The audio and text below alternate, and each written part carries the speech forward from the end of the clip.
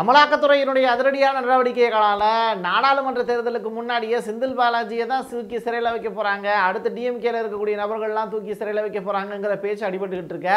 சம்பந்தமே இல்லாமல் நாம் தமிழர் கட்சியினுடைய சீமான் மக்களவை தேர்தலை சந்திக்கிறதுக்குள்ள ஜெயிலுக்கு போயிடுவார் போல. அதுதான் இன்றைக்கான ஹாட் டாப்பிக்காக வந்து மாட்டிருக்கு. எப்படி சீமான சிறைக்கு அனுப்புறதுக்கான வேலைகளை டிஎம்கே செய்து அப்படின்னு சொல்லிட்டு சில நபர்கள் பேசிக்கிட்டு இருக்காங்க. அதில் உண்மை இருக்கா? ரெண்டாவது வீரலட்சுமி அப்படிங்கிற நபர் எப்படி தமிழர் முன்னேற்ற படை அவங்க எப்படி உள்ளே வர்றாங்க? இவங்க விஜயலட்சுமி அப்படிங்கிறவங்க இப்போ ரெண்டாயிரத்தி பதினொன்றுக்கு அப்புறம் வந்து திருதுப்புன்னு உள்ளே என்றாகிறாங்களே அவங்களுக்கு பின்னாடி இருக்கக்கூடிய நபர் யார்? எதுக்காக வீரலட்சுமி திருதுப்புன்னு வந்து உதவி செய்கிறாங்க எல்லாத்தையும் தாண்டி நாம் தமிழர் கட்சியினுடைய சீமானுடைய புதிப்பான பேச்சு அப்படிங்கிறது இன்னைக்கு கொஞ்சம் ஓவராகவே போயிருக்கு.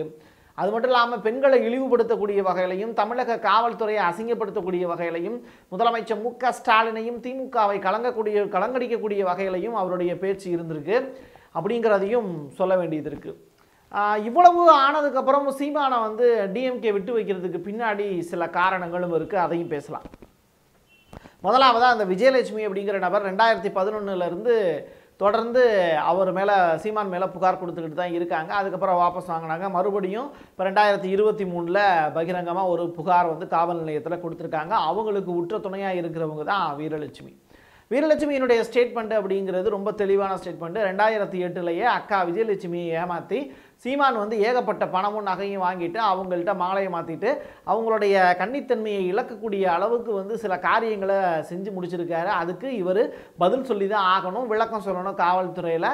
அதுக்கு தக்க பதிலடியை நாங்கள் கொடுப்போம். ஒரு பெண்ணுக்கு பெண்ணுக்கு துணையாக ஒரு பெண்ணுடைய மனது ஒரு பெண்ணுக்கு தானே தெரியும் அப்படிங்கிற அளவில் அவங்க முன்னாடி வந்து நின்று ஃபைட் பண்ணுறாங்க நியாயமான விஷயம். தப்பே கிடையாது.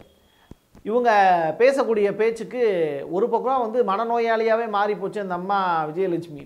ஏன் அப்படின்னா அவங்க மு- சீமான் மூலிமா பாதிக்கப்பட்டு யார் யாராக ஃபோன் பண்ணி நாம் தமிழர் கட்சியிலேருந்து ஃபோன் பண்ணுறாங்க டிஎம்கேலேருந்து ஃபோன் பண்ணுறாங்க ஏடிஎம்கேலேருந்து ஃபோன் பண்ணுறாங்க பாஜகலேருந்து ஃபோன் பண்ணுறாங்க யார் ஃபோன் பண்ணாலும் சிமன் மாமா நான் எல்லாம் பண்ணிட்டேமாமா அப்படிங்கிறது மட்டும்தான் பாவம் அந்த லேடியோட புலம்பலாக புலம்பலா இருக்குது இதெல்லாம் தாண்டி அவங்க பேசும்போதே தெரியுது அவங்க ஒரு சைடு ஆயிட்டாங்க. வேறு மாதிரி ஒரு கண்டிஷனுக்கு போயிட்டாங்க. சரி அவங்கள விட்டுருவோம். இப்போ ரெண்டு பேர் தான் மெயினான ஆள்.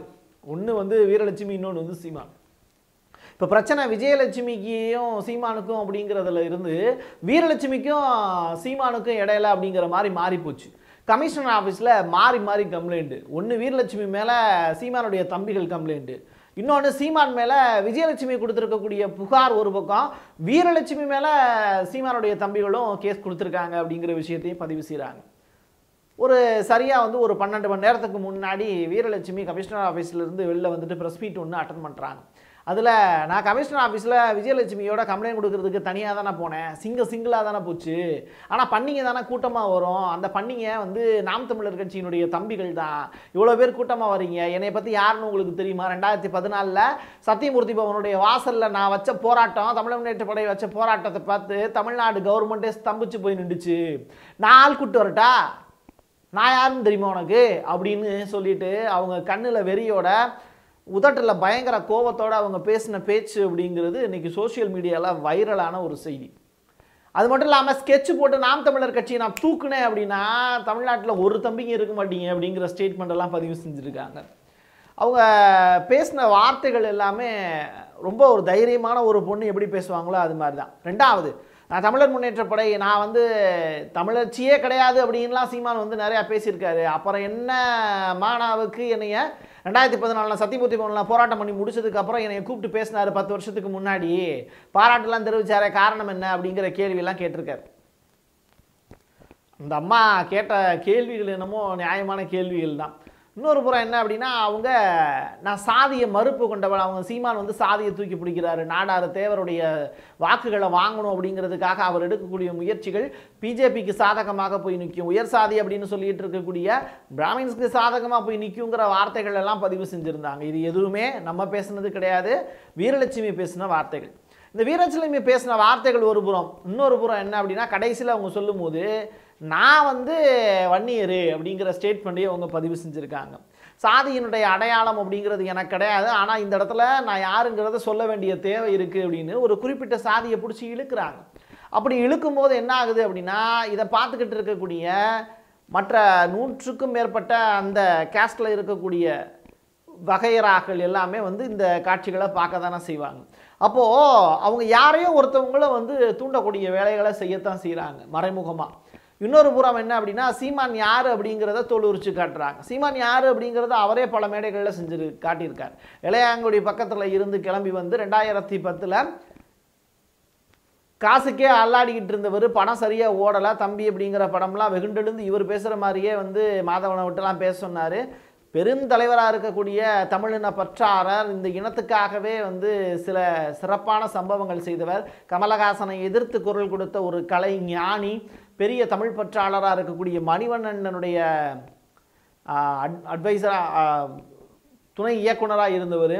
அப்படிப்பட்ட இழந்து நிறையா கற்றுக்கிட்டு அடுத்தடுத்த இடங்களுக்கு போகிறதுக்கு முடியாமல் தலைவருடைய பேச்சாலை ஈர்க்கப்பட்டு அடுத்ததாக இதுதான் ரூட்டு அப்படின்னு சொல்லி தெரிஞ்சுக்கிட்டு ரெண்டாயிரத்து ப பத்துக்கு பிறகு இப்போ ஆதித்தனார் வளர்த்த கட்சியாக இருக்கக்கூடிய நாம் தமிழர் கட்சியை கைப்பற்றினார். அதுக்கு பிறகு தான் சீமானுடைய வளர்ச்சி சீமானுடைய கைது சீமான் சிறைக்கு சென்று வந்ததுக்கு பிறகு அவருடைய பேச்சுக்கள் எல்லாமே முதல்ல தீக்கால இருந்து ஆரம்பிக்குது. அதுக்கப்புறம் பெரியாரை தூக்கி பிடிக்கிறாரு. அதுக்கப்புறம் பெரியாரை டொம்முன்னு போட்டு உடைக்கிறாரு. இப்படி ஏகப்பட்ட வேலைகளை செஞ்ச சீமான் இன்னைக்கு தனக்குன்னு வந்து தமிழ் தேசியத்தை அடையாளம் வச்சுட்டு மணியரசன் உள்ளிட்ட தலைவர்களோட ட்ராவல் பண்ணிகிட்டு இருக்கார்.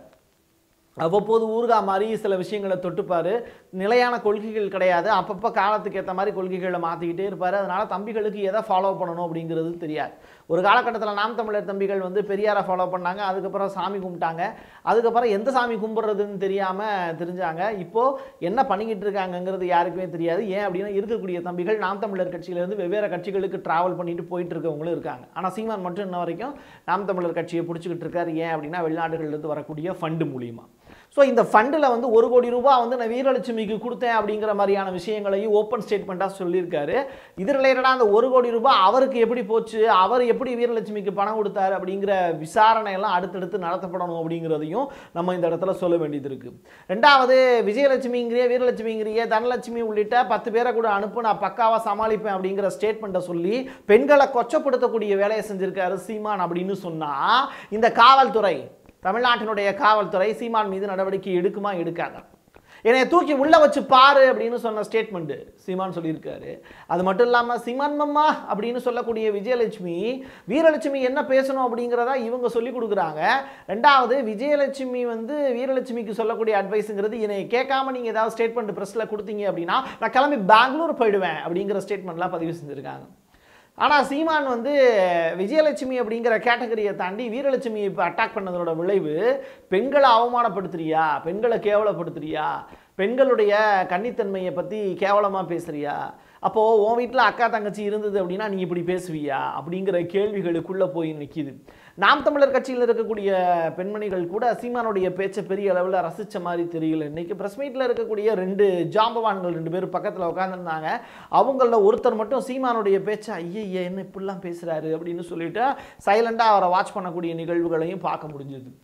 சீமான் வந்து கடைசியில் பேசி முடிக்கும்போது ரொம்ப அவருடைய பேச்சில் ஒரு நாகரிகம் அப்படிங்கிற ஒரு விடயமே இல்லை. பெண்களை கேவலப்படுத்திட்டாரு. யார் கம்ப்ளைண்ட் கொடுத்துருக்காங்களோ அந்த கம்ப்ளைண்ட்டுக்கு சரியாக ஆஜராக முடியாமல் பயந்து ஓடி இருக்காரு. என்னுடைய மனைவியை கூட்டிகிட்டு வர்றேன் அப்படிங்கிற ஸ்டேட்மெண்ட் அவங்களும் வழக்கறிஞர் தான் நான் கூப்பிட்டு வரேன் அப்படிங்கிற ஸ்டேட்மெண்ட்டை பதிவு செஞ்சுருக்காரு. அதெல்லாம் ஓகே ஆனால் தேர்மொழி அப்படிங்கிறவங்களை ஏன் இழுக்கிறீங்கிற கேள்வி கேட்ட வரைக்கும் ஓகே அதை தாண்டி வீரலட்சுமி கேட்ட கேள்விக்கு அவர் சரியாக பதில் சொல்லல. எங்கே நாம் தமிழர் கட்சியை ஸ்கெட்ச் போட்டு தூக்கிறீ இந்த ஸ்கெட்சை கூட உன்னால் தூக்கி போட முடியாதுன்னு சொல்லிட்டு ஸ்டேட்மெண்ட் விதித்திருக்காரு. போயும் போயும் வந்து அவர் யார் கூட மோதணும் அப்படிங்கிறதே சீமானுக்கு இன்ன வரைக்கும் தெரியல. பாஜகவை பற்றி பேசுகிறாரு அமித்ஷா பற்றி பேசுகிறாரு மோடியை பற்றி பேசுகிறாரு டிஎம்கேவனுடைய ஆளுங்கட்சியாக இருக்கக்கூடிய ஸ்டாலினை பற்றி பேசுகிறாரு உதயநிதி ஸ்டாலின் அடுத்த இளவரசனை பற்றி பேசுகிறாரு இது எல்லாத்தையும் தாண்டி கடைசியில் யாருன்னு இந்த தமிழ்நாட்டு மக்களுக்கு அடையாளமே இல்லாத தமிழர் முன்னேற்ற படையை சேர்ந்த வீரலட்சுமியை எதிர்த்து பேசிக்கிட்டு இருக்கார். அப்போது சீமானுடைய அரசியல் நிலைப்பாடு அப்படிங்கிறது யார் கேள்வி கேட்டாலும் பதில் சொல்கிறது அப்படிங்கிறது இல்லை. யார் கேள்வி கேட்டாலுமே தன்னை நோக்கி பாயக்கூடிய தோட்டாக்கள் எல்லாத்தையுமே அதை வந்து தகர்த்தெறியக்கூடிய வேலைகள் இல்லை. எப்படி ஒரு லட்சம் துப்பாக்கியை தாண்டி போய் தலைவரை சந்தித்தேன் அப்படிங்கிற அவர் பேசிய வார்த்தைகள் எல்லாமே ரொம்ப புக ப- எப்படி சொல்கிறது புரட்டான வார்த்தைகள் தான். ஆமக்கரி சீமான் அப்படிங்கிற அந்த வார்த்தைக்கு ஏற்ற மாதிரி தான் அவர் பேசியிருக்காருங்கிறது தான் புரிஞ்சுக்க முடியுது. ரொம்ப கண்ணியமற்ற வார்த்தைகளை அவர் பதிவு செஞ்சதை தவிர்த்திருக்கலாம் அப்படிங்கிறது ஒரு புறம் வரக்கூடிய குரல். அதையும் நம்ம பதிவு செய்ய வேண்டிய தேவை இருக்குது ரெண்டாவது உள்ளே போயிட்டு நான் வெளியில் வந்தேன்னா என்ன செய்வேன் தெரியுமா? அப்படிங்கிற கேள்வியை திமுக அரசுக்கு விடுக்கப்பட்ட சவாலாக அவர் பதிவு செஞ்சுருக்கார்.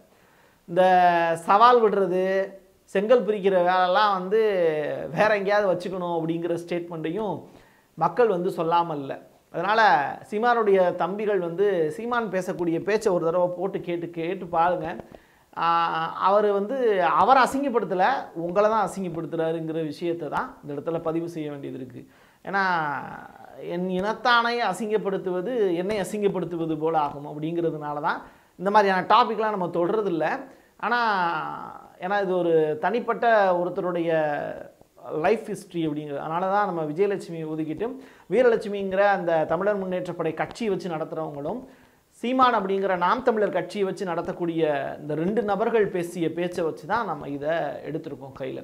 ஸோ கட்சியில் இருக்கக்கூடிய ரெண்டு நபர்களுக்குள்ளே இருக்கக்கூடிய சண்டை அநாகரிகமான வார்த்தைகளை பதிவு செய்து ரெண்டு கட்சியில் இருக்கக்கூடிய ஏதுமறியாத அப்பாவிகளை தூண்டிவிடக்கூடிய வேலையும் சாதிய மோதலை தூண்டிவிடக்கூடிய வகையிலையும் ரெண்டு பேரும் பேசக்கூடிய பேச்சை வன்மையாக கண்டிக்கிறது பிரசாத் சிக்னேச்சர் இது மக்களுக்கு தெரியணுங்கிறதுக்காக தான் இந்த பதிவு. என்ன? என் கையெழுத்து என் மக்களுக்கானது. மீண்டும் ஒரு பதிவில் சந்திக்கிறேன். நன்றி வணக்கம்.